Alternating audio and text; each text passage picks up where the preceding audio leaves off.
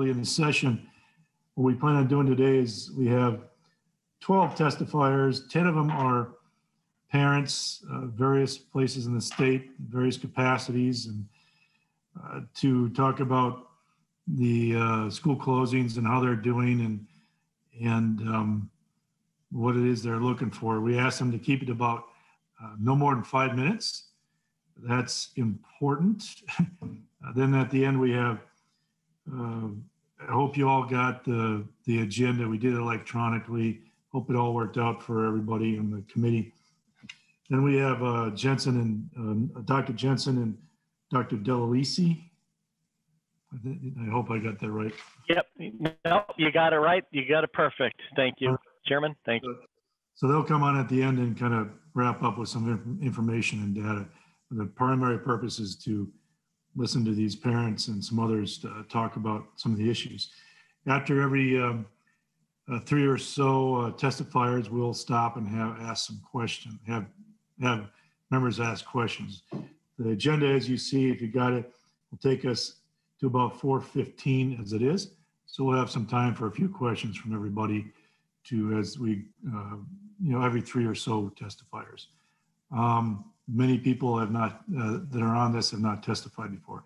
So before we go any further, um, why don't we do this quick? Uh, Coming up next week on Monday, we'll, we'll uh, do a more formal in- uh, um, introduction of our amazing staff. I think all of you are aware of them, Jenna and Anna Marie and Betsy. And where is the, who did I forget? Jenna, Anna Marie, but Jenna, Jenna, Anna Marie, Betsy. That's it. Yeah, you're used to four. I'm used to four. Jenna, Anna Marie, and Betsy. I thought there was another one. Anyway, so they're great. They're wonderful. Been around a while. They know their stuff. And I know Anna Marie's never stumped. She uh, had to look up the definition of a school bus once years ago. And she found it in statute somewhere. I know Steve would, Senator Cwodzinski would be, understand the complexities and stuff that go into that. So same with Senator Wiger. So those are the, um, Ann, I'm sorry, well, Ann, uh, Anne Marie sounds good. We'll call you Ann. No, you can call her Ann. You were calling her Anna. Oh, I was calling her Anna? Yeah. I thought I could. All right, I'm sorry. So, uh, I, you know, why don't we do this quick? I'm going to go down the list and just have the senators introduce themselves quick, what district, who they are, what district, and welcome the committee. We do have one new uh, name and face on here. So we'll start with that. And I'll start with uh, Senator Duckworth. Why don't you give us a quick, um, then it'll be Senator Coleman. Why don't you give us a quick uh, 15 second hello and where you're from and uh, welcome to the community. Sure. I knew you were going to put me on the spot first. Uh, hello, everybody. My name is uh, Zach Duckworth. I'm from Senate District 58, which is uh, in the South Metro. Uh, the two largest cities are Lakeville and Farmington. Very much look forward to uh, this meeting today. Thank you. And Zach is a school board member as well down there, correct? Correct. Former chair of the uh, Lakeville School Board. Okay. Uh, Julia, Hi, everyone. My name is Julia Coleman. I represent Senate District 47, which is the majority of Carver County. So we're home to great cities like Chanhassen, where I'm a former city council member, Chaska, Victoria, Waconia, and a lot of small rural areas as well as suburban mixed in. So it's a really good blend, and I look forward to this hearing today. thank you, Senator Coleman. Senator Cwodzinski. Muted there, Mr. Cwodzinski. Unmute yourself. Sorry. Is that part, is that my time up then that um, I was muted? Um, hi, I'm Steve, Swed- Senator Steve Cwodzinski. Thank you, Mr. Chair. Um, love this committee. It's my fifth year on it and there's no committee that gives me greater joy and pleasure than um, trying to make the best system, educational system in the country for our, um, for our young um, future citizens. So what, thank you and welcome to the new members. Thank you, Senator Cwodzinski. Uh, Senator Isaacson. Thank you. Uh, sorry for uh, my outdoor setting. I hope you can enjoy a little of the great tundra of Minnesota here. Uh, this is my ninth session uh, in the legislature, my fifth one as a senator, and my third one on E12. I was on E12 at one point in the House. or been on higher education. And I'm super excited to be back on E12 again and looking forward to doing some good work for Minnesota. Thank you, Senator Isaacson. Welcome to the committee as well. Senator uh, Wiger, then Senator Kunesh. Hello, everybody. I'm Chuck Wiger. I reside in Maplewood. My district is District 43, which is eight uh, area communities throughout Northeast Metro. I'm in my 25th year in the legislature. I've been on E12 for each of those. Education is my top priority. Look forward to working with everybody. Thank you, Senator Wiger. Senator Kunesh, I get that right? You're muted. We have the progressive commercial. Um, so nice to meet all of you. I'm Senator Mary Kunesh. I represent District 41, which is Columbia Heights and Hilltop, New Brighton, St. Anthony Village, Fridley, and a little bit of Spring Lake Park. I uh, have just spent the last four years over in the House. And all of those years I've been on, on education committees. This past uh, session, I was the vice chair for education policy, which uh, makes sense because I am, am an educator of 25 years. I just retired in November um, after my 25th year, uh, and 20 of those years I was a library media specialist. So the uh, situation that we have at hand is really near and dear to me, as well as um, you know, building on the the past uh, of my experiences, and just really pleased and proud to sit on this committee with all of you. Thank you. Welcome, Senator Kunesh. Thank you. Kunesh, I'm sorry. Senator Newman. Thank you, Mr. Chairman. Um, uh, my name is Scott Newman. I am a senator from Senate, Senate District 18 uh, that uh, encompasses uh, all of three counties about 60 miles west of the Twin Cities. My hometown is Hutchinson. Uh, I've been in the Senate now uh, for eight years. I am the neophyte on the committee. this will have will be my first year on education, although I did serve uh, in the House on the Education Committee uh, a number of years ago. Uh, but so, so I have a little bit of an idea, although my information is probably out of date. So I'll be doing my best to listen. But I'm very happy to be on the committee. I think we've got a lot of really important issues that we have to address. Thank you, Mr. Chairman. Thank you, Senator Newman. Senator Eichhorn, last but not least, of course. Thank you, Mr. Chair. Appreciate it. I'm Senator Justin Eichhorn. I'm from Grand Rapids. Grand Rapids, Bemidji, Walker in my district, Itasca, Cass, and Beltrami counties. This will be my fifth year on education, uh, second term. So I'm excited to serve with you as a new chair, uh, Senator Chamberlain. I'm looking forward to the challenges we have and, and your direction on the committee. So looking forward to serve with everybody and looking forward to hear what everybody has to say so we can uh, serve kids because that's what we're here for. So I'm excited for it. Thanks. Thanks, Senator Eichhorn. Well, thanks again for everybody uh, for the intros. Look forward to it. Thank you for wanting to be on the committee. Sometimes this is right up there with HHS, but uh, it's an important committee. I'm uh, honored and happy and proud to have the ability to do this. I have been on K-12 for 10 years since I started. Some years uh, very challenging, every year challenging and interesting. And Miss Butler, Miss Lewis, has been there the whole time. Uh, and uh, Betsy and Jenna are fairly new. So I look forward to this and we'll certainly have difficult conversations in the future, but it's an important committee, much to be done and to discuss as we go forward. So thank you all again. With that, we'll get started. Now, uh, if we're in a committee room, which we will hopefully be soon, it's partially we can't be there for a variety of reasons, technology, COVID issues, but we will eventually be there in a few weeks. And we'll be able to manage this effectively. But it's important to have people and faces in a room so we can work together, build those relationships, and um, it's important to see faces. Secondly, uh, so we do this with this, uh, some of you have been through this, uh, but we have an agenda. We, uh, we're going to stick to those topics each person has about has no more than five minutes, just because I want we want to maximize this. Uh, I would ask that you we keep this civil and above board, uh, because um, it can easily go sideways in these environments, but we'll try to stay civil on topic and we'll get through this just fine. So what I'll do is I'll mention who's up first. I should have mentioned uh, Coffee, you'll be up first. I know you wanted that. So Coffee will be up first. And then uh, Mr. Christensen, is it Chick, Paul Chick? And then Peltier. So first is uh, Coffee, then Mr. Christensen, and then Mr. Chick.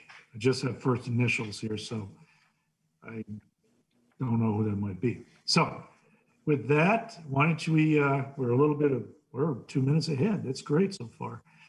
So why don't we uh, go ahead and uh, Ms. uh, Coffee, why don't you start? uh, Introduce yourself for the record and uh, welcome to the committee.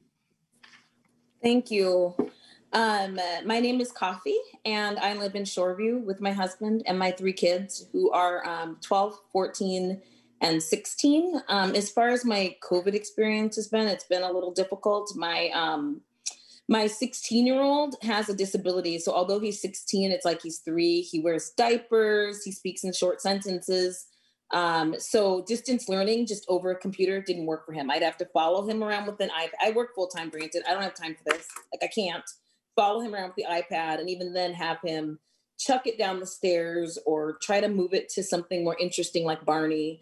And so um, it was really difficult trying to have him in distance learning. And he's been basically had no de- um, education from March until about November. Um, they did have school for a little bit, but then due to the governor's order, we couldn't have school. So it was very, a very short time that we had school. Um, so, but anyways, um, I have a group of parents who of special needs kids, and we've been doing lots of research, and we're on top of all the newest developments. And the Department of Ed has allowed for community providers to come into homes to educate kids, and so it's the choice of the school and i think it's only for disabled kids but i was able to persuade my kid's school to give him a community provider. So now he has a paraprofessional that comes into our home and teaches him eight hours a week and it is amazing and she does such a great job. And so i feel like he's getting some education but life just sucks. It's really hard trying to do it all. Like there i've never taken days off just using vacation just to sit at home and get things done. But sometimes i feel like i'm drowning sometimes i cry you know and so i find myself having to do that more often. I just feel really bad for people who are single parents because i don't know how how they do it. My other kids are struggling too more socially. They never leave the house. They seem to have more social anxieties in my opinion and if we could do private school for them we would.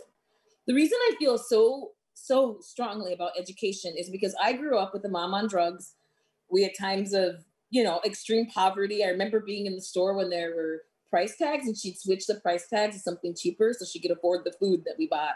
So we weren't, you know, I grew up with a lot of um, dysfunction. My dad took us, he married a woman, her stepbrother sexually abused me for like six or seven years. Lots of dysfunction in my life growing up. But I knew that if I could get an education, I could get out and that I could escape that. And so I just feel very, very, very strongly um, about education. I think the solution to all of this right now would be for the money to follow the student. So whatever government money is allotted per student should be able to go to the student to be used, should be allocated to get the student educated if distance learning won't work for them. Um, but I know that there's a lot of people out there, mainly the teachers union, and then there's others too who do not want there to be as much school choice they don't want the money allocated to the students and they want it everyone to just stay in public school even if it isn't um, isn't even working for them. So when i was asked to speak today the first thing i thought of was this article i read in the minnesota post from august titled stay in public schools the anti-racism we need from white families during the pandemic. I find the title absolutely troubling and many things in the article troubling but for the sake of time what stuck out for me most was there's a quote in it that talks about when urban districts choose distance learning, they are valuing the lives of children of color, Black children, and Indigenous children um, because of their increased risk of COVID 19. And it just bothered me so bad. I looked on the Department of Health's website 7% of Black kids, there's 7% of Minnesota's Black people, only 9% have are have COVID. But yet I looked at the reading and writing proficiencies and math. And for reading, white kids are at 66%, black kids at 34%. This is for the whole state of Minnesota. For math, 60, 63% for white kids and 26% for black kids. And then this article went on to talk about how we need to keep, you know, white parents, please don't take your kids out of urban public schools because we need to fund fund equity programs and equity positions and our kids need to learn about anti-racism. And because these our public schools really value the lives of black kids and kids of color. And i think if we value their lives then we will teach them to read and write. And if we value equity we will teach them to read and write because that is the only way that's the only way to really get equity versus just talking about it. It's actually giving people skills they need to escape poverty.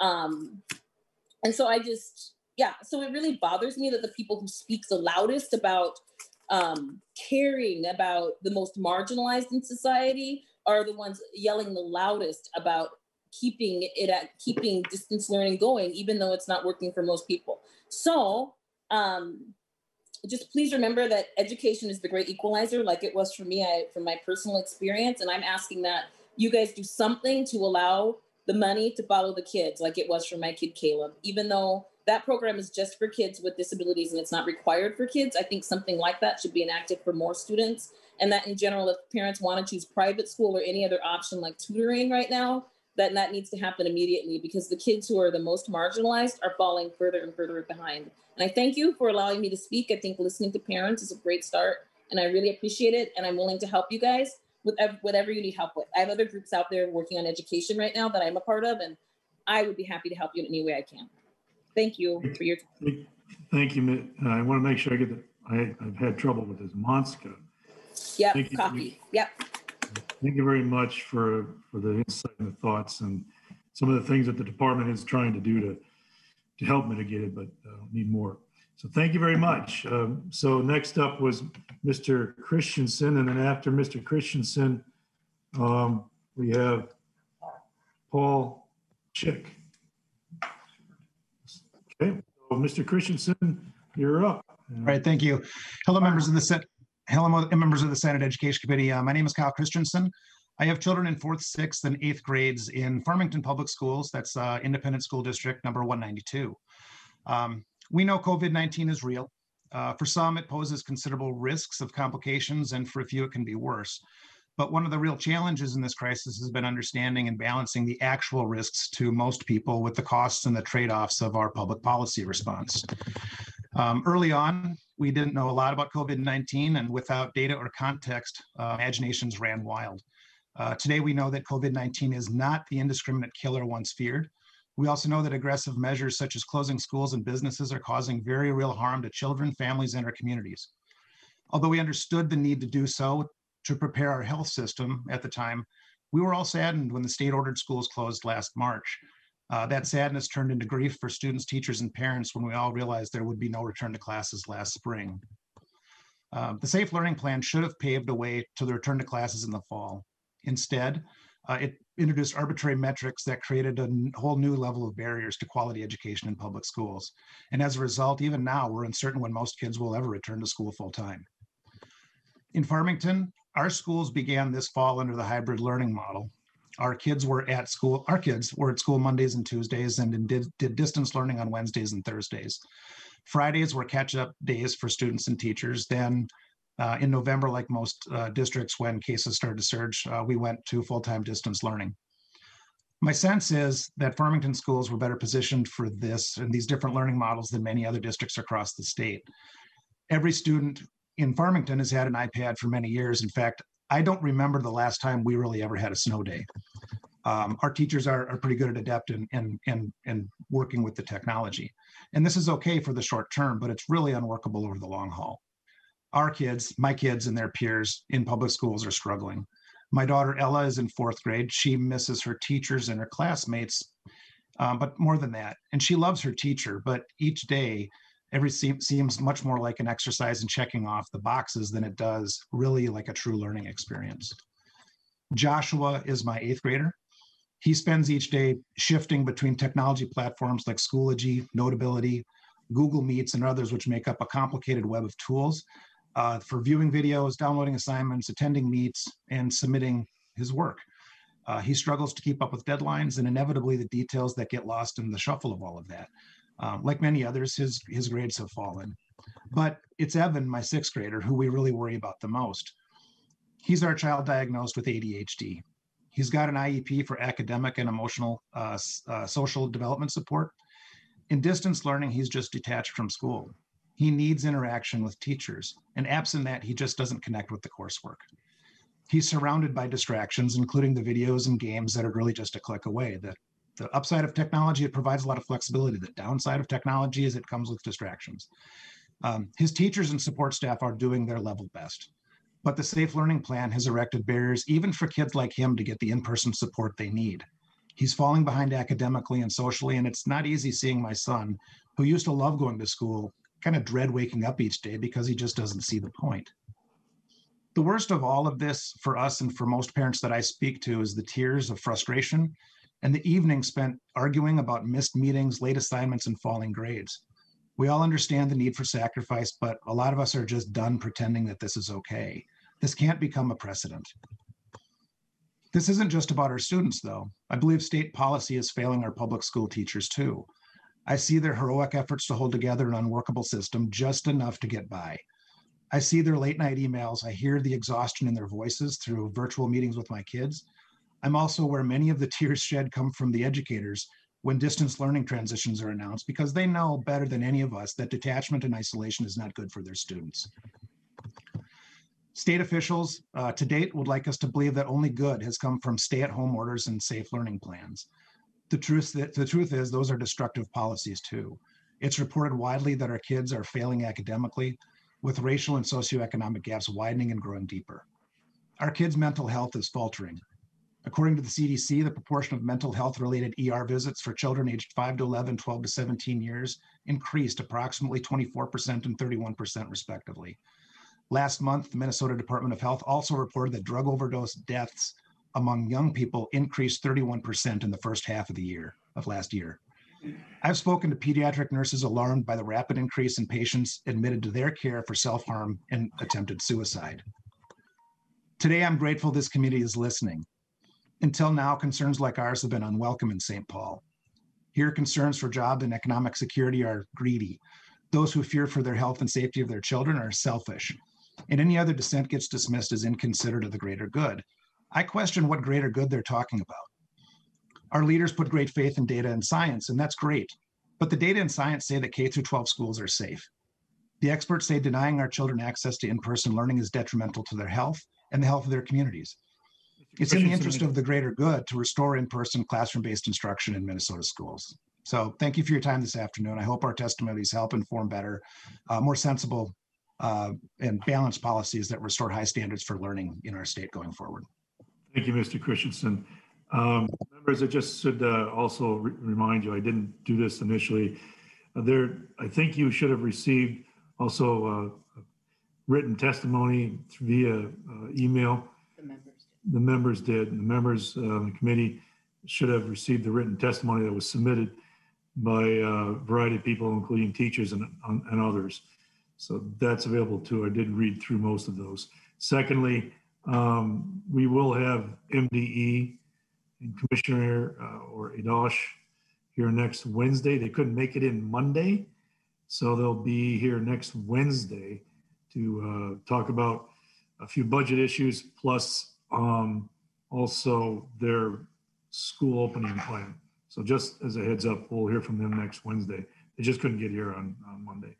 So next up is, thank you, members. So after Mr. Uh, Mr. Chick goes, we'll open it up to members for a couple of questions if you have some. So Mr. Chick, you're up and then uh, Mrs. Miss Beltier, you're on deck, okay? Okay, Mr. Chick, go ahead.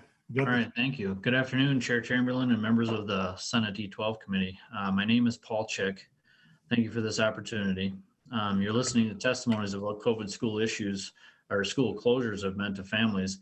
I represent several families and indirectly a small town in southwest Minnesota, right on the South Dakota border. I am the superintendent principal of Hendricks Public School and in Hendricks, Minnesota. I'd like to present three issues that our district is facing at this time during the pandemic. Our school's been open and in person since August 17th. My school has 132 pre-K through 12 students. We're very small.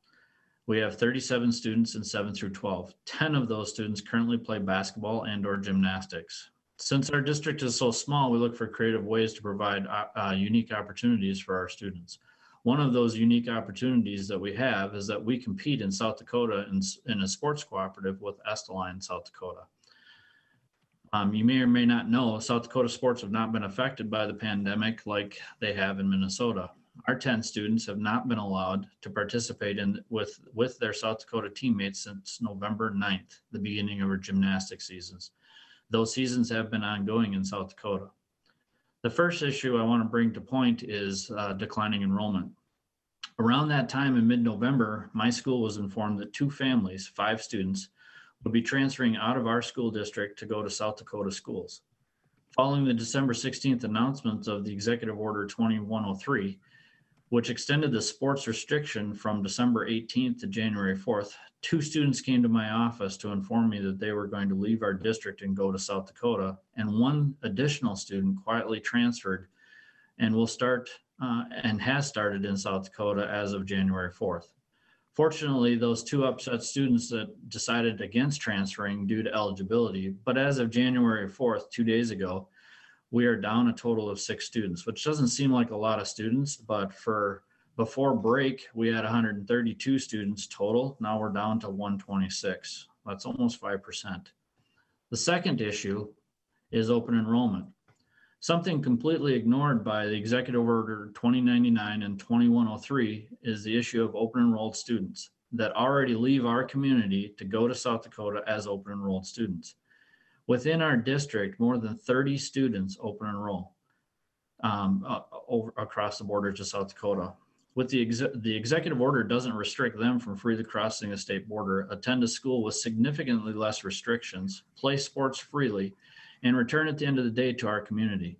The 10 students that are part of our cooperative agreement that we send to Estelline should be practicing and playing just as these open enrolled students would do so under the current Minnesota restrictions as part of our agreement with Estelline. When talking with school community and parents, it's hard to explain how denying our 10 students from crossing the border to practice and play sports safely under our Minnesota guidance versus allowing open enrolled students to freely continue makes um, makes no sense. It seems unfair, it seems inequitable, and it's a huge safety concern for our school and our community. The third issue is loss of autonomy. Because our school is so small, our proximity to South Dakota, and the fact that there's no restrictions on open enrollment, the restrictions that our students and their families have willingly endured may be detrimental to our future. We have always been able to find creative ways to provide opportunities for our students, and our parents truly appreciate that. But losing our decision-making autonomy during this pandemic could jeopardize our school's future. I very much appreciate the autonomy that we've been allowed to decide to keep our doors open to in-person learning. And we're one of only 49 students currently doing, or 49 schools that currently do that. And we've successfully been able to keep our students and staff safe. We know what is best for our students. We've been operating with the best of intentions to provide opportunity for our students while en- ensuring that our students are safe. Applying restrictions that every school must follow strips our district of its autonomy to do what is best for our students. I thank you, Chair, uh, Chair Chamberlain and the committee members for the work that you do. Thank you again for this opportunity to share. Thank you, Mr. Chick. Uh, Appreciate the testimony. Um, you Did very well. You came in with 30 seconds left. Good. Good. So, uh, so members, at this point, do you, um, uh, three testifiers been up. Members, do you have any questions uh, so far? We got a few minutes. If you have a question or two, suppose you can raise your hand and Judy or Greg, Judy will look for that. Looks clear. I don't see any. Okay, you have none. Oh, Um, Mr. Steve, yeah. Cwodzinski. Yes, raise your hand on Zoom, Steve, but that's Yeah, fine. I was trying to find that switch. I, You can just wave, it's easier. Just go, Yeah. yeah, wave into the camera. We'll do it that way, all right?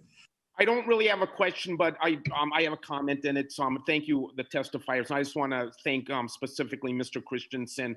Um, his comment about I'm hearing the, I don't know the word he used, the pain in, in his, um, kids' teachers' voices really resonated with me. And, um, I just appreciate the acknowledgement of, of not only our children are suffering, but our teachers as well. They want to be in, back in the classroom as much as anybody. And, Yep. but we're dealing with a, it's a pandemic and um but we'll hopefully through the testimony the the rest of the testimony it'll make us all better senators and um make your lives a little bit richer as well so Thank you, Senator Cwodzinski. Yeah, yeah, that's a good point.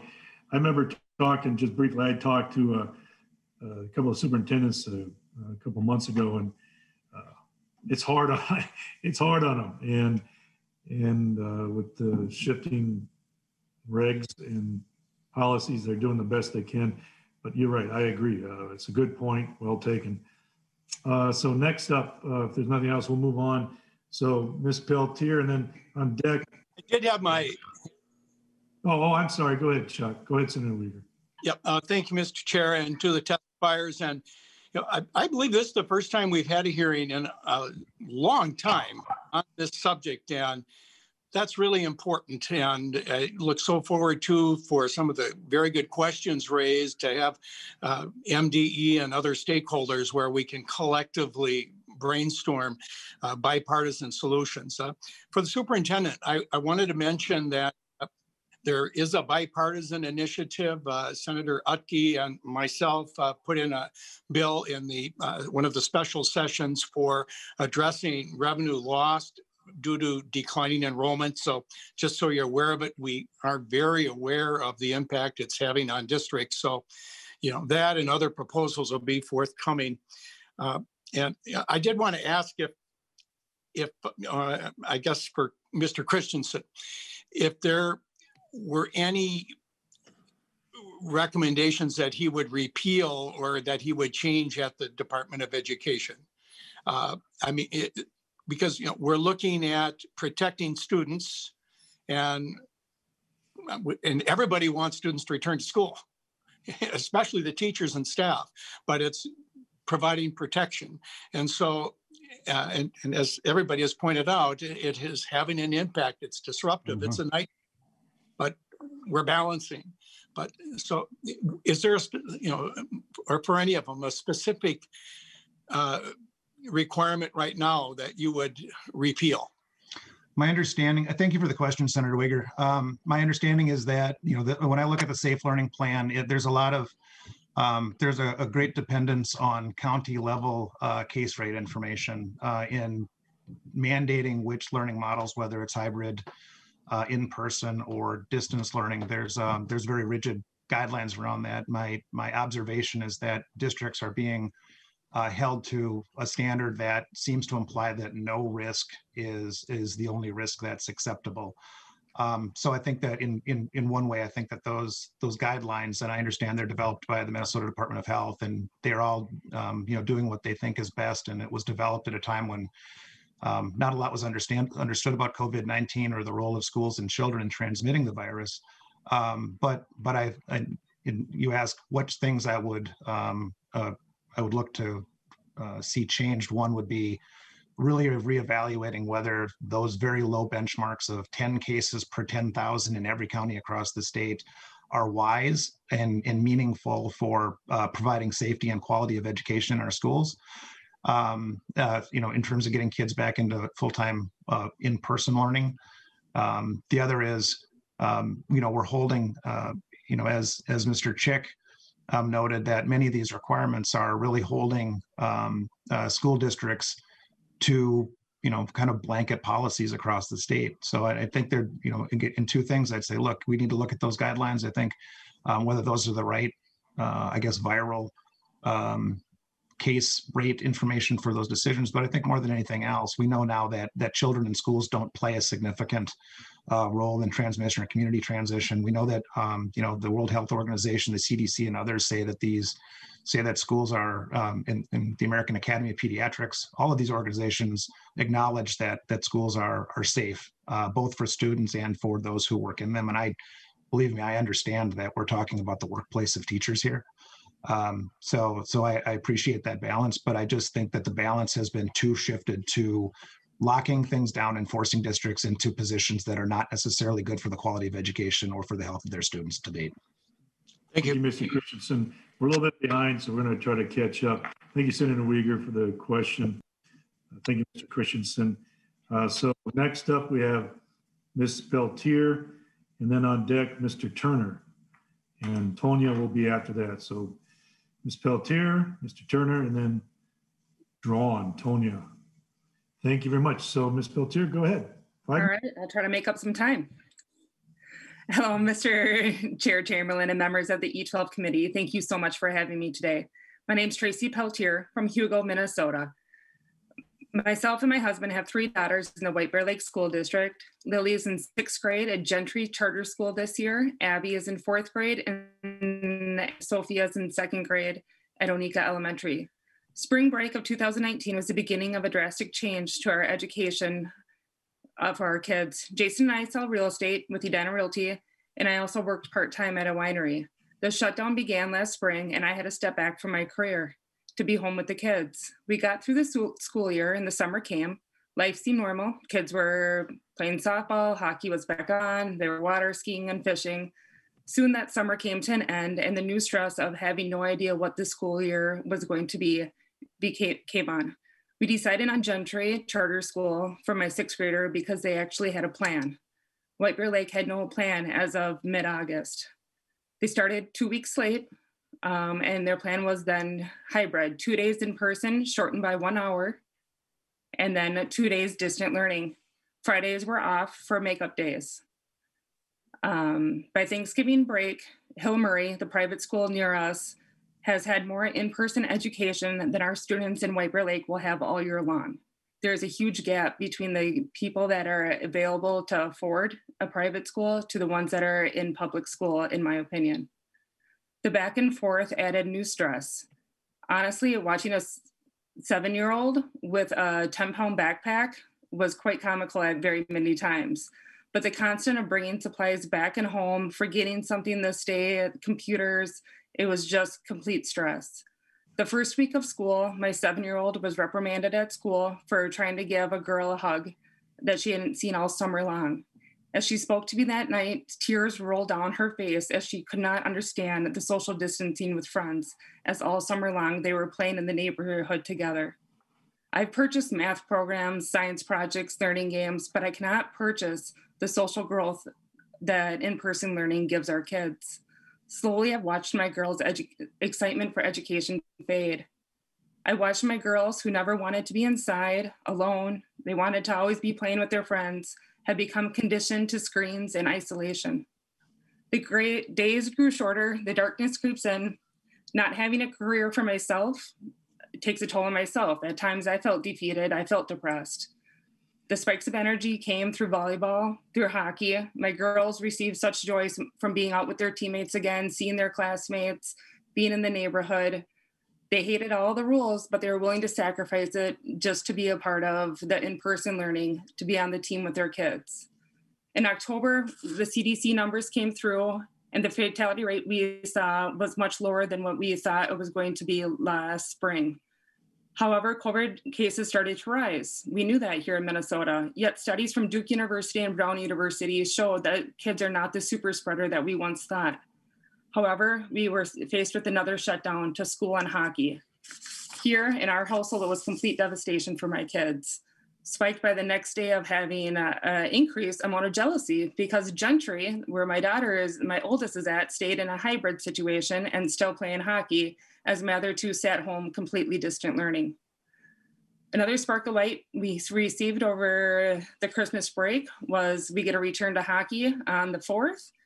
And uh, we are now starting January 19th for second grade and in February for fourth grade, only to face the new regulations with mask of playing hockey and also in gym class. The kids, they'll do anything to be with their friends on the ice to the team. But now, as a parent, I have to make that decision at what risk do I have my kids on the ice to play heads down hockey, to breathe in bacteria in a wet mask, to be in gym class all day long? Um, it's frustrating, I will say. We hear from the Minnesota Department of Education that they're listening to the Minnesota Department of Health, who says they're listening to science. CDC, the WHO, they say you shouldn't wear a mask while vigorously exercising, but yet now pediatrics say you can. So it's very confusing to try to talk to our kids of what science we're listening to. They're on the computers three to five hours a day. They're reading, they hear the news. They have so many questions and they just want to be in school. They want that connection with their friends. Um, and it's it's heartbreaking to watch as a parent. Um, I've seen firsthand kids in our neighborhood at 11 years old now cutting themselves um, and the stress of those parents. Um, through all of this, I would say in closure, um, what the shutdowns have meant to our family has been a roller coaster of sacrifice, of depression, excitement, tons of family bonding, uh, happiness to letdowns and confusion, disappointment, isolation, and a huge financial sacrifice to our family that no COVID relief plan will ever touch. And through all of this, I honestly feel less impacted than the majority of our friends. Thank you, Ms. Peltier. Appreciate the comments. Um, Stick around if you can. Uh, Yep. So, Mr. Turner, you're up, and then Tonya, and then Ms. Hodgman. Uh, By the way, Mr. Helmer, you're last up, uh, and then it'll be Dr. Jensen and Dr. Del- Del- Delisi. So, Mr. Turner, you, uh, you're up. Five minutes up. Go on in. Thank you. You're welcome to the Hello, committee. Introduce yourself. Members of the Senate E12 Committee, my name is Rashad Turner. I'm a parent of a middle schooler and also the President and Executive Director for Minnesota Parent Union. School closures have affected all of our children in all 87 counties of this state. Uh, For my daughter, who has always been an eager learner, uh, this year has been a complete wreck for her, her classmates, as well as her teachers. As a family, we've had to spend a lot of money out of our own pocket pockets to supplement what's supposed to be a free public education. What about the families who don't have those resources to supplement that free public education? As president and executive director for Minnesota Parent Union, our organization has heard the horror stories shared by families going all the way back to the beginning of Governor Walz's stay at home orders. Those stories are horrifying and mirror our education gaps, which are criminal. Families calling schools, no answer. They leave a message, no return call, no support, no education. Families in need of internet and technology, only to be left in the cold without any access to a chance at a quality life. Because that's exactly what a quality education leads us to. Schools across the state of Minnesota holding families accountable for absences when it was really the Zoom or the Google Meet and a lack of an understanding on how to use those tools that kept our children from being in class. All while Education Minnesota and teachers unions like the St. Paul Federation of Educators are doing everything they can to run from accountability. Cancel the test, keep our schools closed. Those have been their battle cries going back to the beginning. Why don't they want us to know how well our schools are educating our children? Chair Chamberlain, committee members, don't you all believe that as parents, we need to know how well our children are being educated? Another theme that we've heard from parents across the state is that families deserve a refund. Give us our money back and let us choose when, where, and how our children receive a quality education. I mean, how, as a state, are we spending the same amount of money and then some, millions more, to only get two hours of FaceTime with our teachers? I mean, I'm no mathematician. I went to public schools, but the numbers don't add up, y'all. And it's quite embarrassing for us as a state. I asked this committee and the rest of our legislature to keep this in mind as you hear solutions over the course of this session. Keep in mind that our children need to be in school. They want to be in school. Teachers want to be in school. But a return to normal for a lot of our children in Minnesota means they still won't be able to read. Adequate and uniform systems of schools are not enough. It hasn't been enough since 1857. Quality is, education is a must. Failure is not an option. Appreciate the opportunity to be able to address the committee. Chair, thank you.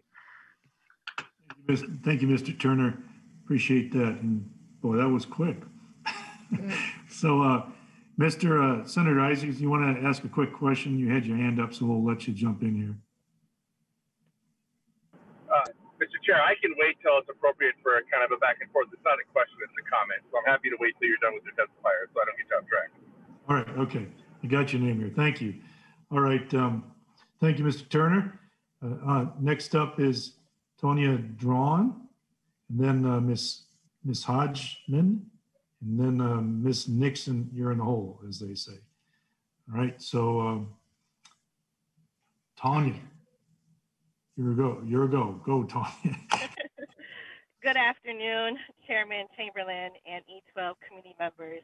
Um, thank you very much for having me um, testify today, just to kind of give you some of my experiences.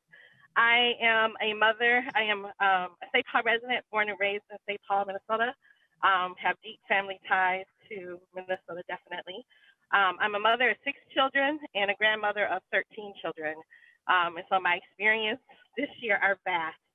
Um, with my da- my own daughter, who is 10 years old, when COVID first hit, um, she goes to a charter school in St. Paul that I feel has really made a difference as far as her um, social and mental capabilities. But she is a little behind because of the academics of the charter school, unfortunately. Um, and so when COVID first hit, definitely we felt that um, her being behind was hit with us even greater, with her getting tremendous amount of work to do that would keep somebody busy for probably 24 hours a day. And the work that she was given was far beyond her capability of doing it, even as I sat with her to make sure that she understood or could try to understand the work that was needed. Um, this summer, she enjoyed just being with family. We're a very close family, a very big family with all the grandkids. But there was a lot of anxiety for my grandchildren and my my child about the start of school, what school would look like. Um, here in St. Paul, our charter school decided to do just distance learning, but I have grandchildren in St. Louis Park that I had a hybrid mo- a model who were able to go to school parts of the week and then do distance learning for the other part of the week. I would say those those children that were able to do the hybrid model have adapted very well um, and are achieving and being at almost grade level. However, the children that are in St. Paul that are doing just distance learning um, have had a different experience. This year, the teacher that we had was very interactive and she has really pushed my daughter to learn. However, my grandchildren are falling farther and farther behind. Teachers having internet issues where they can't even teach and get their computer goes off right in the middle of a lesson to only being on the screen for one hour a day um, to them just saying, hey, as long as they log in, that's the only thing we need for them this year. We don't care what they really comprehend or learn as long as they're there and they participate and we can see them, have been some of the responses that my children have received when questioning distance learning or wanting to make sure that distance learning would work for them um, and my grandchildren. It's come down to the fact where I am seeking a tutor for my grandchildren and found a friend that would do it for free um, because I find no resources even for tutoring um, within their school or within that system that we can attain without any kind of a fee. So I am now, you know, seeking out tutors to help my grandchildren. Um, so that's the mother and then grandmother in me that's working. But I'm also a community organizer. And so when this started back in April of this year, um, I had tons of parents coming to me for help, from anything for help paying rent because they were falling behind in rent being, being trying to work and trying to do distance learning with no childcare, um, to um, basic medicine because their job had stopped and they put the last bit of money on food for their family instead of buying medicine for themselves. Um, I actually started a different group with Minnesota Parent Union being one of the collaborators called the Fanny Education Alliance because we were just so sick and tired of being sick and tired of falling behind and nobody listening to us, nobody giving us the resources we needed.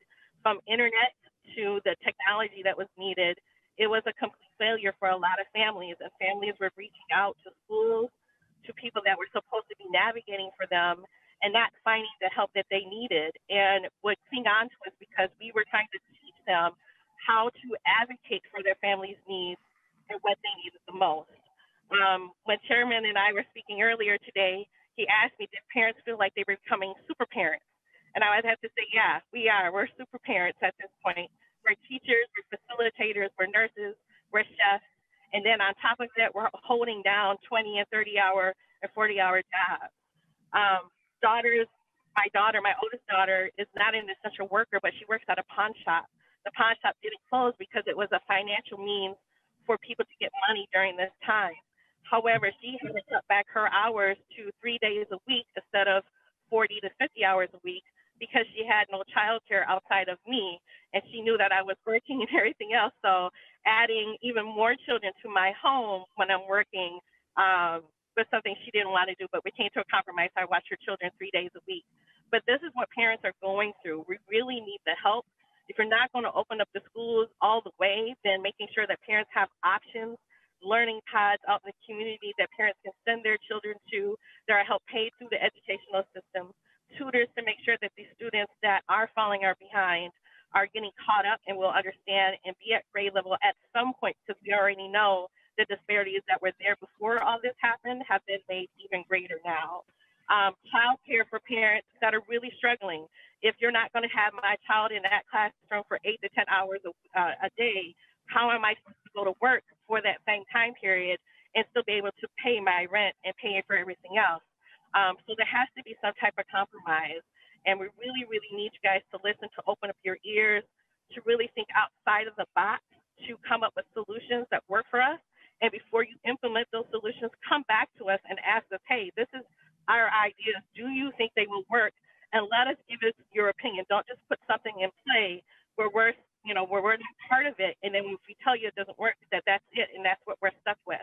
We really need you guys to really um, just think about it. Think about the, what position we're in. Um, that, you know, it's not going to be a cookie cutter position for everybody to fix this, but there are some options that we can get. There are some monies that we can get that can help us do this and this. And I, I'm very grateful that you're at least giving us this opportunity to talk to you with open ears because um, it's definitely what is needed at this time. And thank you. Thank you very much, Mrs. Drawn. I really appreciate that. Um, members, we're gonna, Senator Jensen was good enough to, you know, offer offer some uh, help and insight here with a few points.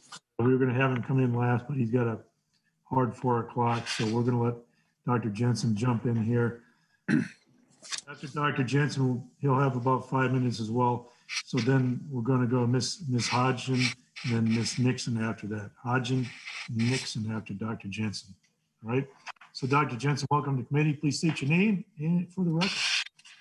Thank you very much, Mr. Chair. I appreciate being in front of you. I'm Dr. Scott Jensen, and uh, I appreciate the opportunity to share information with your committee. I will proceed essentially, the number one cause of school closure is generally weather in this country, and the second is teacher strikes. And so studies have been done during those kinds of timeframes. And what studies have shown in terms of the physical aspects of what happens when school closure occurs, particularly to the 10 to 18 year old. Schools administer vaccines, these drop off dramatically. And during the pandemic, we've seen that already. For the younger children, eye and ear examinations drop off. And so there's a great fear that we will miss or be delayed in picking up significant hearing and vision loss. Free and reduced priced lunches are a part of how students are physically impacted.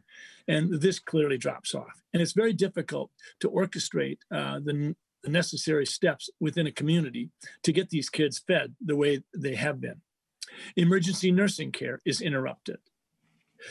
Identifying children at risk is a huge issue because it's oftentimes teachers that notice things first. And we're seeing that as well. We're seeing hotlines ring off the charts, if you will. We know that there's an increased risk of accidents, infections, malnutrition, and premature fatalities. If we slide over into the mental health just a little bit, and I'll try to avoid that because I think you have other testifiers speaking to that issue. There's no question that anxiety, depression, suicide, and suicide attempts go up dramatically, and they have. As a single physician speaking to the committee today, I can tell you that I've never seen so many suicides in such a truncated time frame as during this pandemic, in particular during school closures. A journal statement from the pediatrics came out and said that chronic school ab- absenteeism, particularly starting in the early grades, puts students at risk for poor performance and ultimate dropout. Lockdowns cause school absenteeism. When you lock down for a while and then come back into play, you don't immediately bounce back to the level of attendance that you had prior to that. So I think that those are the comments I would have in regards to specific physical impacts of school closures. But I also, if I could, I'd like to just take 30 seconds and say that a part of the school experience is extracurriculars. And when it comes to extracurricular activities, this idea that we can have 12 and 14 year old kids trying to perform physically at the maximum of their capability and wear masks is going to cause problems. We will have some form of catastrophe. And then we're all going to shake our head and say, oh, if we only would have known. I, I cannot say strongly enough how wrong I think it is to take a group of people between five and 20 that have virtually no risk of death from this disease. We've never done this with other pandemics. And yet we're telling them if you're playing hockey, put on a helmet, put in a mouth guard, wear a mask, perform to your maximum physical capability, breathe, spew, spit into your mask until it's wet. We don't even know if it has any mitigating impact at that point in time at all on any viral load that may or may not be present. We know that that young person will be breathing in and out the virus, the bacteria, and even the fungus that normally resides in the maxillary sinuses and the pharyngeal orifices. I'd be glad to stand for any questions, Mr. Chair. Thank you, Dr. Jensen. Um, uh, thank you very much for that insight. You brought up some things that I had not considered or heard about or thought about. Um, yeah, as long as you got time, we, we got some more testifiers. Uh, I don't know, maybe we should see if there's any for Scott, Senator Jen, uh, Dr. Jensen right now. And then we move on. You got to take off. Any uh, members, do you have any questions? Yeah. Jensen? Can I ask you a question? Senator Wiger, go ahead. Um, yes, thank you, Mr. Chair. Uh, Dr. Jensen uh, noted what you said regarding risks for students. We want students back in school. We're trying to balance the public health interests, which obviously is a debate. You didn't mention any statistics whether staff might be at risk. Uh, could you comment or do you sense that whether public school or any school staff might be at risk? Dr. Jensen? Mr. Chair? Yeah, thank you, Mr. Chair. Thank you, Senator Wiger. That's a great question. And I, I would say one thing, I think we definitely need to make certain that everybody understands that teachers and staff are essential. They're essential to the way our country works. In terms of specific statistics and, and uh, if you will, transmission from students to staff, quite honestly, the data has been very difficult to accumulate. And the recent studies that have come out have, have been really waffling in terms of whether or not asymptomatic students are going to transmit to, to staff and to teachers.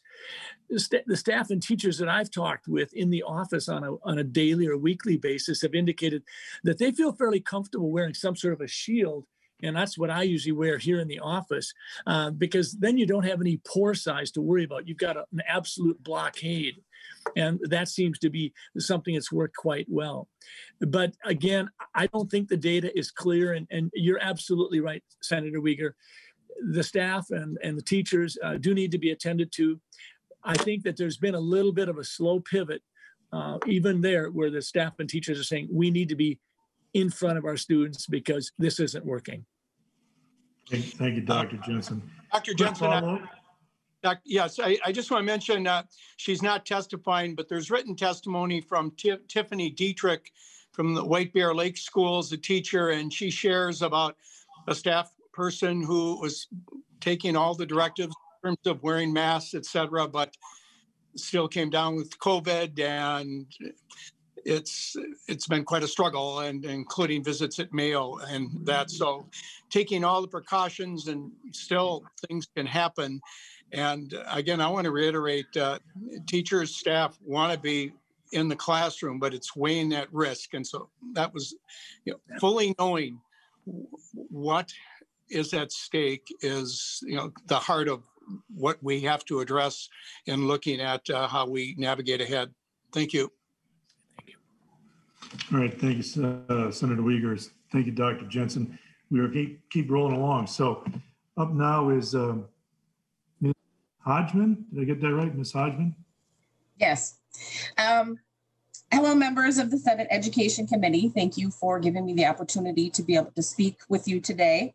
Uh, my name is Joanne Hodgman. Um, I'm a member of the Minnesota Parent Union. I am also a social worker um, in my community. I am a single parent of three. Um, my children have gone and have gone through um, St. Paul Public Schools, and I have two that are still in St. Paul Public Schools. Um, this is what the shutdown has, um, the ways in which it's impacted us.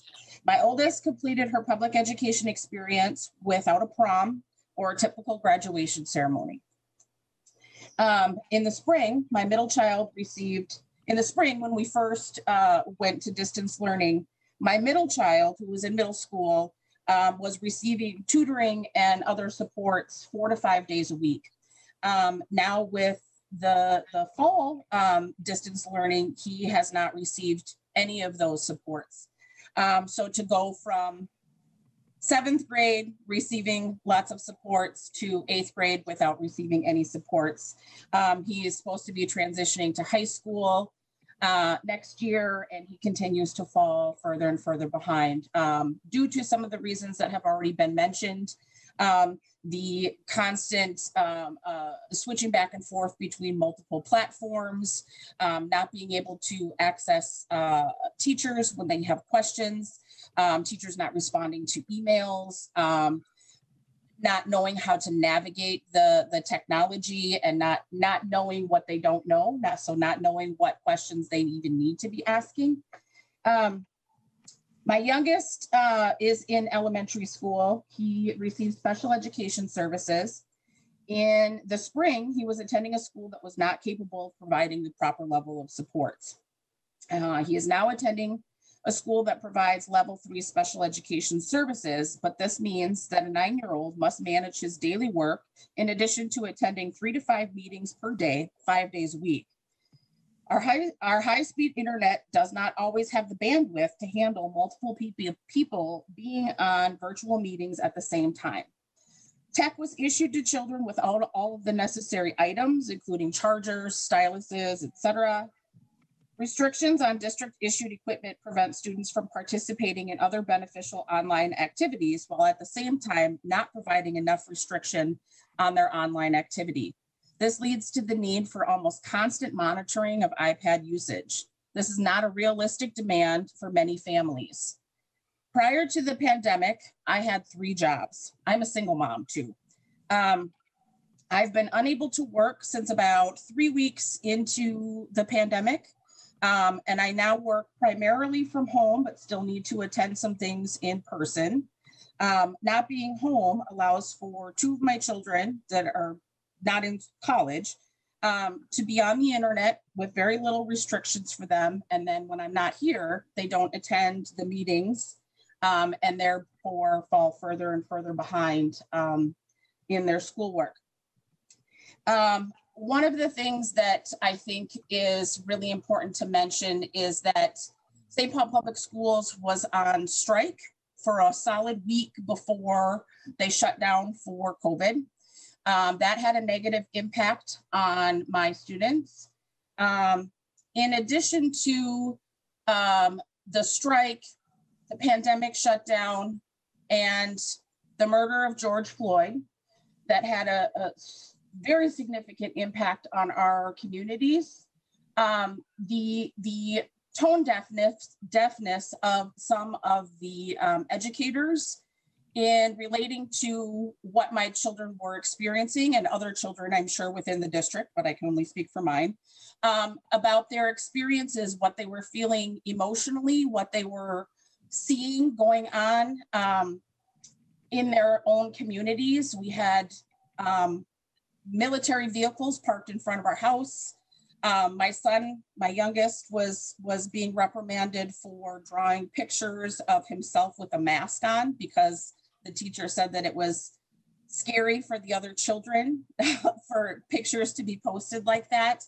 Um, so there's there's tone deafness uh, amongst staff, um, and uh, yeah, I, I, there's a distinct difference between distance learning that occurred in the spring and distance learning that is occurring now.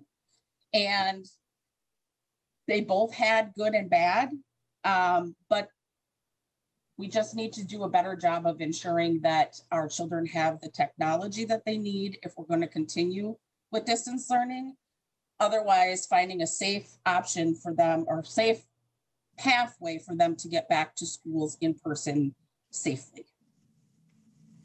Thank you. Thank you so much, Ms. Hodgman. Um,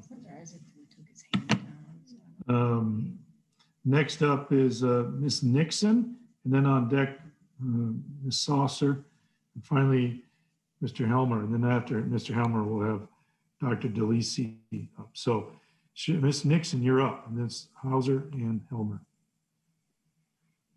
Hello, and thank you, Mr. Chair, and members of the uh, Senate Education well, I should, Committee. I, should, I should get used to the fact I have to say, welcome committee. Please state your name for the record. I had a little note there. Yes, absolutely.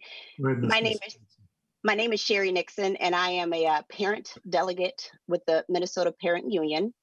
I also have children uh, in District 622, uh, which is in Maplewood. My children are eight and 12. So I have a grade school child as well as a middle school child. Um, the shutdown of in person school has been very life altering, as many have stated for them as well, um, as well as for our family. Uh, my son, um, he has a very huge dilemma um, when schools are planning to, know, to open back up. Um, at this point, he's not ready to go back, unfortunately uh, right before the shutdown, I would say about a week before the shutdown, he was sick for about two and a half weeks. It was horrible. Um, he was never diagnosed with COVID because I don't believe he was tested for it, but he may have come pretty close to it. Um, he had various symptoms of it. However, he is not in a position to go back. But my daughter, um, who is a middle school uh, child, she is definitely ready to get back into the social light and you know be sociable with her friends. Um, now, like many, we have struggled to adapt with distant learning. Um, I have put, as well as my my partner, we put in 120% um, into this um, for the best possible outcome um, for them both, wearing many, many hats. Um, teacher, hall monitor, um, doctor, therapist, you name it, we're doing it right now. Uh, nonetheless, we're still working diligently to assure that our children do not lose the big picture uh, that focus is receiving a quality um, education, regardless uh, to the uh, learning process. Um, now, I have a few concerns, or a couple, I, I should say, a couple concerns uh, with that process, um, which is communication. Uh, the communication for myself um, with teachers um, have been a little laxed or, relaxed, I should say. Um, and and and versus the first time distant learning happened versus uh, improvement i have seen it um, but i've also seen you know more lacking of uh, communication um, we need to know where our kids are or where we stand academically, um, not only when it comes to conferences, which we've only had one, uh, but during the interim. You know, if my children are not uh, completing, you know, their assignments, or they're not, if if, if my daughter, um, per se, uh, she's a honor roll student. If you know this to be the case and her her grades are dropping dramatically, I think, like any parent, I would expect a phone call of some nature to speak to this. But when there's not a phone call to this and it goes on and you don't find out about this until conferences, I, I find a very, I, fi- I find a disconnect there. I find a huge disconnect there. Now, for my youngest son, it's a little different. You know, you just got to keep him focused and keep him going. Now, rolling into that, I, am thinking of standardized testing. I mean, we haven't had standardized testing and with the, the, last year we did we have not had it um, to me as a black parent you know of children um, working very hard every day to secure educational excellence for them and their peers i mean we need to definitely work on this we need to measure what's working and what's not um, everyone has different stories they're valued stories. Um, we're all surviving, and I think without testing, um, it's it's it's a very bad ordeal. Um, the longer we go without data, the more in the dark we'll be about whether our children are actually learning. Um, I understand how complicated this moment in education is right now. It's it's it's we're in a pandemic. I totally get it. But regardless to whether that what that learning process is, we still need to understand um, every experience that our child is having right now. Um, they're not the same, but we need to understand it. So moving forward, um, what the expectations will be. Um, but I'm looking for the school districts to very simply guide us, let us know, show us the way, but also not leave our child behind and struggling and coming into school for the next semester, I don't want to know how far behind they are. We need to know what it is today, what's happening now, because they deserve that quality of education, whether they're in school or distant learning. Thank you. Thank you very much, Ms. Nixon. Um, data piece, uh, good points. Okay, thank you again. Ms. Saucer, you're up, and then finally, Mr. Helmer. And then after that, Dr. DeLisi. So I'll restart clock and you're up. Thank you. Welcome. Right. Please state your name for the record. Thank you. Good afternoon, Chair Chamberlain, Senate Committee Education members, staff in the state of Minnesota. My name is Melissa Saucer. I serve as the Farmington School Board Chair and I've served on the board for over 10 years. I also serve with the Intermediate 917 School Board and I'm a former member of the School Boards Association of the state executive member. Today, I'm speaking on behalf of my family and with my own experiences as a board member and not on behalf of the boards I've on or been a part of. First, I want to tell a story about my daughter. She's a fourth grader. She's a self determined self starter who loves school. She's done her best with her instructions, but she spends most days in her rooms working on schoolwork. Yesterday, she wasn't done with work till about 5:30, with brief breaks for lunch. She is sensitive and irritable, and at times I've been doing her chores for her because I can't dare ask her to do something else during her day. Today, she texted me that she was thrilled during her classroom instruction when she found out that she's gonna be able to go back to school full time in February. I sincerely hope that the experiences shared here of my daughter and all the other elementary learners will be just history and not something they'll be forced to return back to. Allowing the elementary school learning model to be not linked with the county case numbers hmm. is a step in the right direction and one I hope to see soon for the secondary learning model. Then there's the story of my son. My son is 13, he's an eighth grader. He is highly functioning autistic, has severe ADHD, anxiety, and nonverbal learning disorder. He has serviced through a center-based education program within our intermediate 917 schools at our middle school in Farmington. For a brief introduction, the ISD 917 serves our most vulnerable students. The district has a deaf and hard of hearing school, mental health and behavioral programs, just to highlight a few. This last fall until Thanksgiving break, we were thrilled that he was able to attend school four days a week and even jazz band on Friday mornings. Yet after Thanksgiving, it was heartbreaking to learn he would be back to full-time distant learning. A window into his day, he has many meets with his classroom teachers and constant meetings with his para, paras and teachers for help all day long. Many times I'll come into room and is pacing and pacing and pacing in his floor and taking more breaks and more snacks because he needs so many time in his day. One day I heard him yelling, yelling in his room, and I went to find out that he was taking a pre-test on Khan Academy, a math learning program, and he was yelling that the Khan Academy was coded wrong. He was just so frustrated, it couldn't be his fault. It was the coding of the program. There's many attempts to get him back to school since distant learning, but it's just been a couple hours here and there. As a family, we realized that it would be too much more of a disruption to the routine and schedule he already has than to figure out how that would work. We've seen a regression of skills, loss of services, many skills that I'm fearful in time that will never be made up for his life because it's important right now. His IEP team is made up of many more than just teachers, but therapists and, and other therapists that help out that we haven't been able to have as much access to with the distant learning environment. Distance learning at best has attempted to meet the needs of those special needs learners at a bare minimum. And in many cases, I would argue that it's failing them and not meeting free and appropriate public education. Best practice for special needs students is best practice for all. Students need routine, structure, and consistency in relationships with their teachers. What hasn't locked, lacked is caring and heart and help of all those on his team. And I know the teams of many teachers and staff across the state. Yet you can only go so far with limited to no face to face contact and varied online instruction and continued just changes. From my perspective as a board member and the perspective of the district that I can see in Farmington, district and school board members care and they want to do what is best to, and we will try to work and follow the guidelines that is given from the state. Our administrative teams have worked overtime this year and after each announcement, update, and change, I'm in fact proud to say that we've had no community spread of COVID within our district. However, it's been difficult.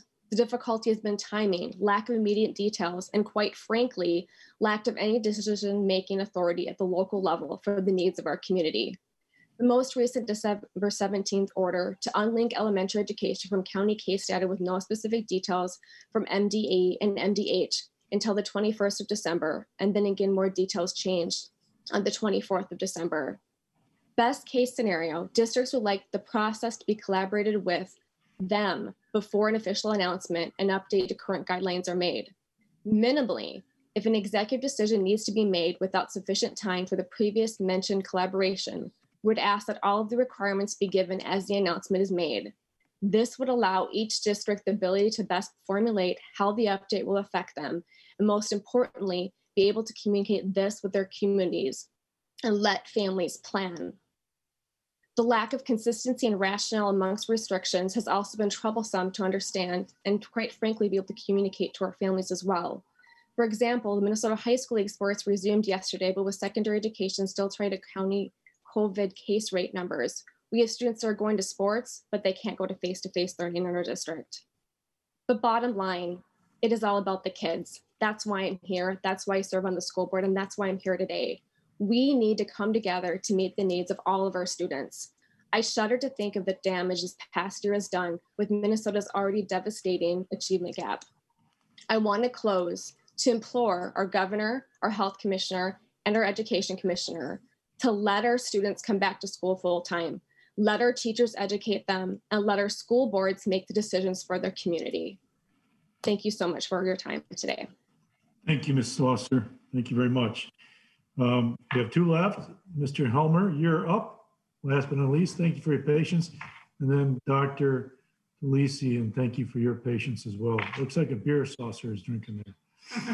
that is the benefit of not being in a committee room, I guess. Um, okay, uh, uh, Mr. Helmers, Helmers. Is it Helmers or Helmer? Helmers. With an S. Okay. You're up. Uh, we'll start the clock. Go ahead, sir. Welcome to committee. Please state your name for the record. Uh, my name is Thaddeus Helmers. Hello, Chair Chamberlain and members of the committee. I have uh, children in ninth and 12th grades in Frazee Vergas Independent School District 23. I'm also the school board chair for that uh, district. And I'm also a spokesperson for the Let Them Learn Minnesota group. Um, I understand the impacts that COVID's had on many people across the state and our nation. I have witnessed firsthand when my stepfather passed away just before Thanksgiving due to COVID. But I believe we're at that point where we need to decide do the benefits outweigh the risks. As a parent, I've watched uh, the changes in my boys They started the year of 2020 off with a, a sense of loss when their 18 year old brother died of brain cancer on January 9th. Last March, well, last March when schools closed, uh, my boys were devastated. Uh, they instantly missed their friends. They missed the interaction with teachers at school and were nervous about what would happen to their track season. As time progressed, they watched their favorite activities slowly fade away. They watched their friends fade into the background. Uh, and they felt their connection with their older brother through sports diminish and then disappear. Uh, this is when depression started to take hold.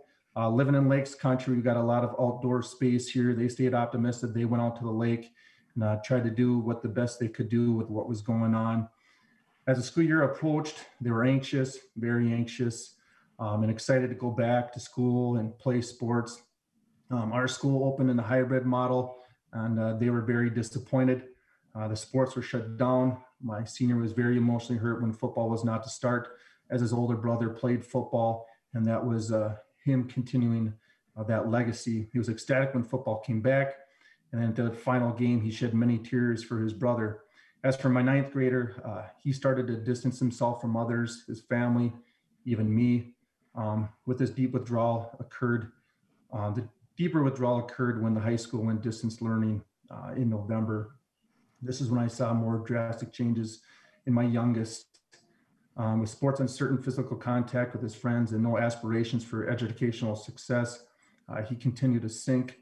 Um, when I told him basketball was an offense, he started to cry because that was his link to his oldest brother. Is that one of those activities that he shared with them, and that's what kind of kept him motivated, optimistic, determined, and happy.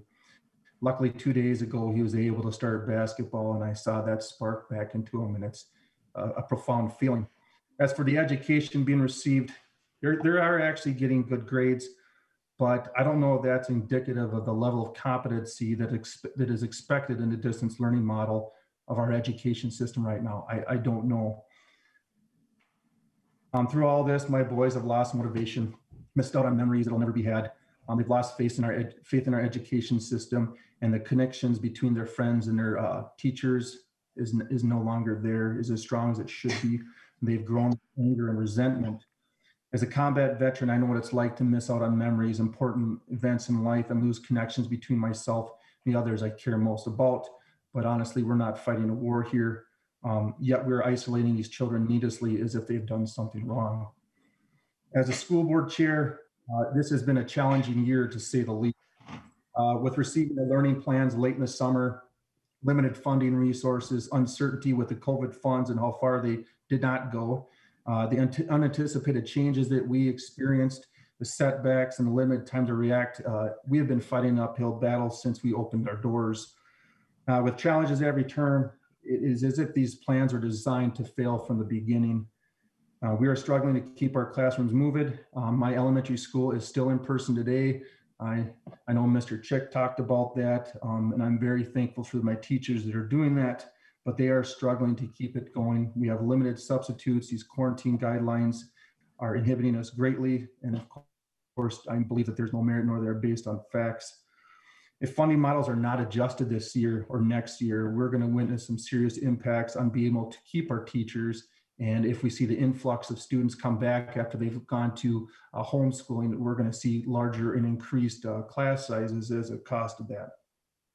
I know my teachers and administrators, as and I assume many others across the state have been working tirelessly to keep districts moving as best as they can, but they're breaking and we need changes now.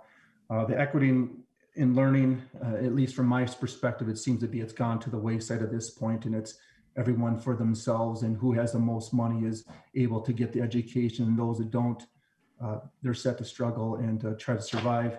And getting back to any type of state standard across the board is going to be a daunting task, because I've talked to many teachers, especially in elementary school, where their grade spans in math or reading are, you know, three grade levels within one grade, and I I hope we get some plans soon to try to get that back to a good standard.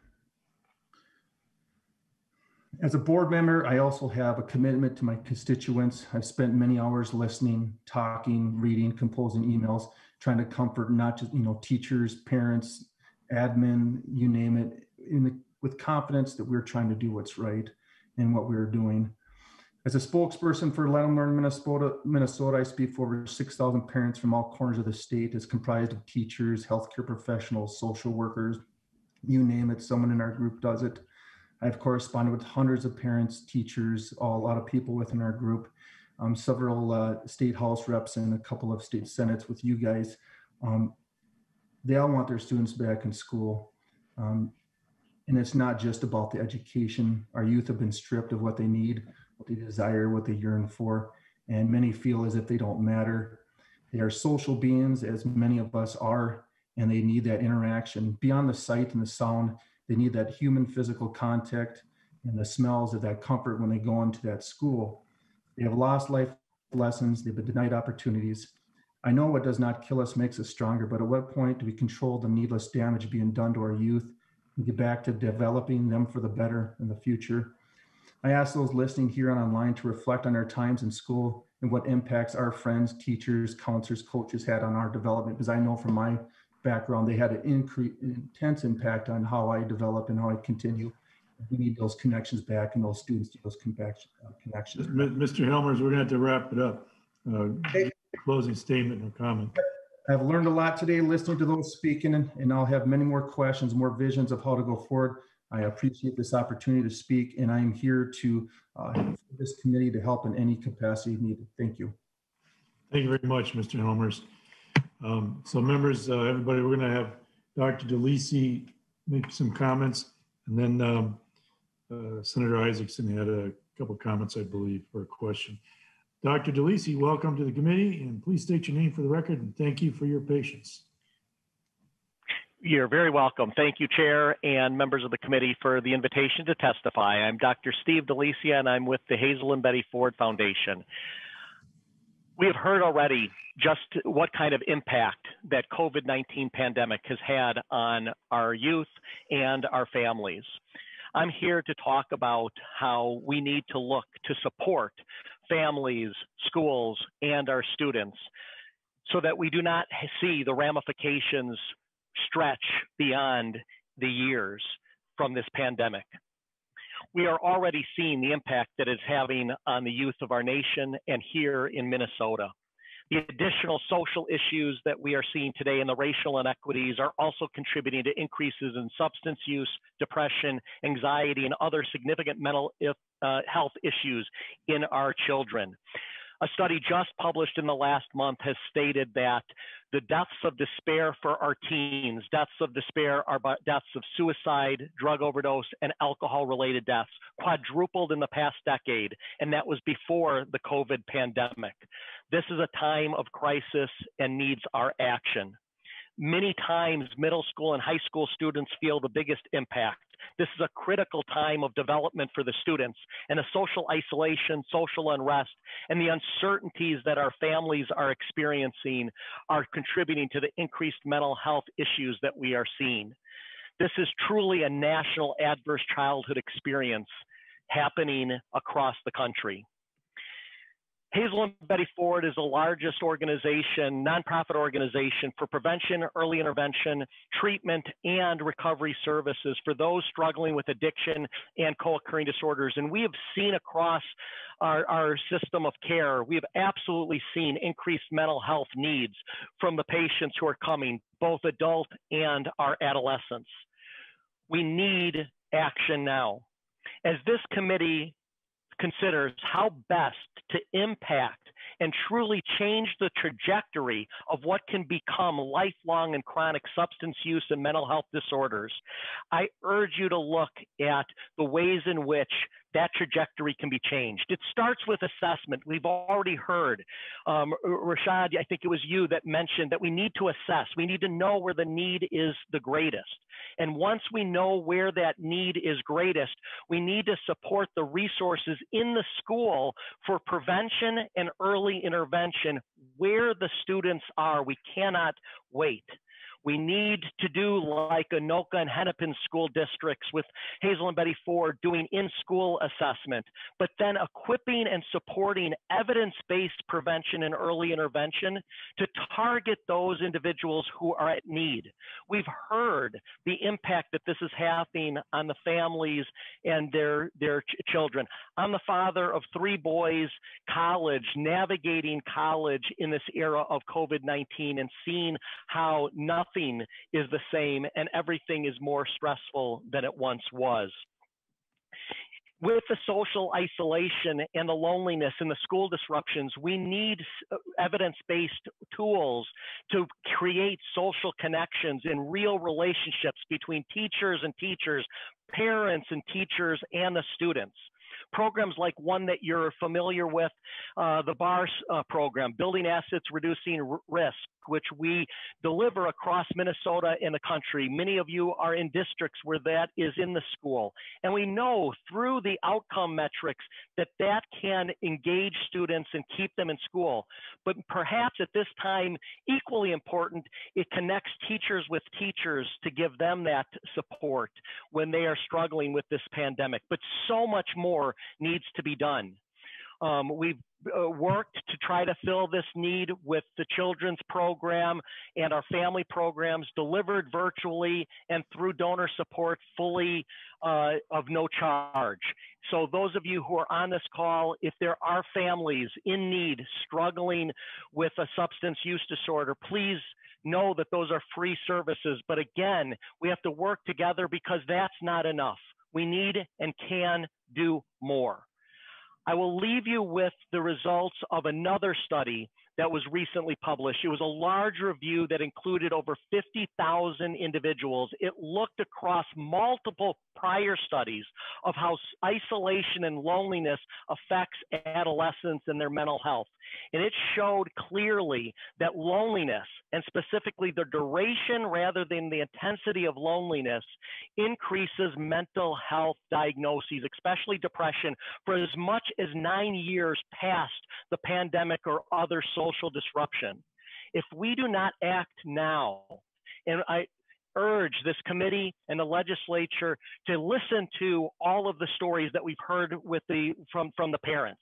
These are real live stories, and again, from the work that that we have done in treatment and then across the country in schools, working with parents and teachers and students, the same conclusion is made. We have to be doing assessments in the schools, identifying the need, and then supporting with evidence-based resources to, for prevention and early intervention to change the trajectory so that chronic lifelong substance use disorders and mental health disorders do not occur. This is the time we all need to work together. Our kids need us. We can't lose this opportunity. And I thank you so much for this opportunity to testify with you today. I'm honored to have been a part to hear all of the parents. Um, and again, as a parent, my, my heart goes out to all of the parents who have testified. We do need to provide more support. Thank you very much. Thank you very much, Dr. DeLisi. And I guess that was time. that was a great, great, great to, to wrap up, actually, to kind of get some idea of where we're going to get help and some idea of a path to follow because we are struggling with, with the, you had mentioned just incidentally, the uh, last 10 years and how those uh, uh, mental health and yes. side issues have increased. There's another issue we're going to address later in in January, but it's it is uh, something we're have to try to tackle. It's tricky and difficult, but I, I appreciate your comments. Good way to wrap up, and uh, good to know. Thank you. Resources out there. I want to follow up with what um, doing in Anoka Hennepin County, Anoka Hennepin, Anoka Hennepin School District. So with that, thank you, Dr. Members. I know that thank you. Senator Isaacson had a question or a comment. Why don't we just wrap up with that, and then we'll see if anybody else has something short to offer. Yes, uh, Mr. Chair, Mr. Chair, can you hear me okay? Yep, I got you. All right, great. Uh, I heard a lot of really compelling stuff today uh, and, and some really uh, very poignant emotional stories about what we're experiencing at home with our kids. Uh, my days aren't much different from what they heard. You know, I spent this morning uh, working two kids through distance learning and a four-year-old who just wants attention, uh, and a 20-week-old puppy who also wants attention. That one's more of a self-inflicted chaos. But the rest of it, while trying to be on a webinar for redistricting, uh, that's a nationwide webinar that I should be paying attention to, and having the opportunity to try to learn and do my job while also having my kids learn, it's uh, it's very challenging. And watching my kids pray for COVID to go away because they want to see their friends again, I resonate with all of the things that people are talking about there. And I, I think there's two points I want to make. One is, in many ways, I feel like COVID is just revealing a lot of the inequities, inequities we have already in our system, uh, especially uh, with folks that are socioeconomically segregated from our economy, and and uh, uh, uh, the ability to be successful and have the you know the promise, the opportunity to pursue happiness. Right? We don't. Where people are not in that position, and we're putting them in even a worse spot. But I want to be clear about one thing. When I sit here and I'm at home with my kids all day because my wife has to go take care of her dad who just got home from a lung transplant, and I can't go to the Capitol because I've got to make sure I quarantine uh, away so I keep don't give him and put him at risk. Uh, I'm not over here thinking to myself, that I think the Republicans are to blame or the Democrats are to blame or a union's to blame. I want to be really clear. The problem is, is we're in a pandemic situation, right? And that's that's the reality, and people are dying. And we see the research coming out now. We've been in this situation for about a year, and we see the research coming out now that's showing some of the things we're talking about with our kids, and we're seeing some of the damage that's happening from the social isolation, as the last speaker talked about, right? And I think moving forward, it would be really helpful to have this conversation in a way that talks about how are we going to solve this problem going forward.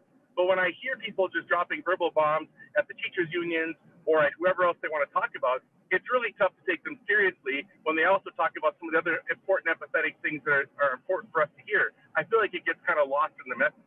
And so I'm excited and committed to seeing ourselves really find ways to provide as much support for local control in our school districts, financing some of the assessments they talked about, putting teachers in a position to be successful and students in a position where they can try to recapture some of what they lost.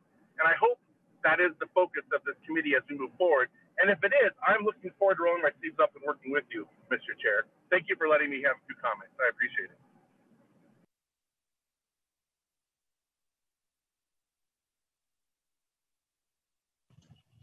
Senator Chamberlain, it looked like you said something, but you're muted. Committed to ultimate error. Hey, Senator Isaacson, who had the lung transplant?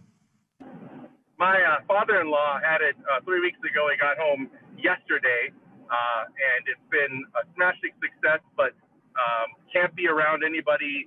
You know, he, has got to be. You know, he's on autoimmune suppressancy drugs, and so he can't be around folks that are uh, nope. the common cold, even. You know. So. No. Okay. Well, good luck. Uh, uh, he's doing well, really well. We're very pleased and uh, very grateful. Thank you for saying, mentioning it. Thank you. So, uh, members, we are a little over time, but anyone else have a uh, members have a closing comment? Senator Duckworth. Thank you, and I'll be very brief. Um, uh, thank you to everybody that came and shared your stories, uh, many of them very personal. And a special thank you to Melissa, Kyle, Thad. I know I've spoken with many of you uh, before previous to this meeting, but uh, appreciate all the advocacy that you're doing behind the scenes on this uh, to Senator Isaacson's point, I think the the one thing that certainly is not lost in all this messaging, no matter where you find yourself uh, politically or any spectrum, is that our kids are are suffering in many ways. It's a challenge, um, and I, I think focusing on solutions and how we move forward, giving both students, families, teachers, our communities some sort of awareness of what we're looking to do or what the plan is to eventually move them back to some sense of normalcy in their classroom is critically important. Uh, so we appreciate you continuing to, to bring the awareness about this. I just uh, wrapped up being a school board member, so I've seen the emails, I've received the phone calls, and I know that the hurt and the pain is real, and it's a significant challenge. And uh, we can only say that we hear you so many times. Uh, we can only express that we empathize with you, so many times. And at some point, we, on your behalf and on the behalf of uh, students all across the state of Minnesota, have to take action and do better in terms of providing them quality education and uh, understanding all the second and third order effects that are taking uh, that are taking place in addition to the quality of their education that's being impacted. So, thank you for that. And thank you for bringing that awareness to this committee as we all together, regardless of party, regardless of where we find ourselves in the state, try to find a way forward on behalf of our kids. Thank you very much, Senator Duckworth. Um, uh, Any other members? Senator Coleman? Thank you, Mr. Chair. I just wanted to echo Senator Duckworth's uh, statement, statement and comments and thank all of our testifiers today. I especially appreciated hearing from all the mothers today and how it's been a struggle for not only your students, but for you as well. Um, Ms. Peltier, you hit on an issue I'm very passionate about. That we're seeing an entire generation of women right now leaving the workforce so that they can educate their children at home. And that's going to have devastating effect uh, for years to come. And that's not even hitting on the issue of the devastating effect that's going to happen to the students uh, for years to come. So thank you for bravely sharing your stories.